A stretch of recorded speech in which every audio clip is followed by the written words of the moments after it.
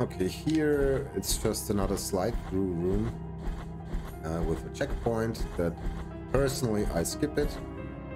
Um, of course, for the checkpoint warp later.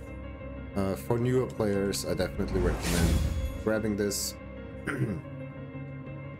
um, because the next room is is a room that can give you more trouble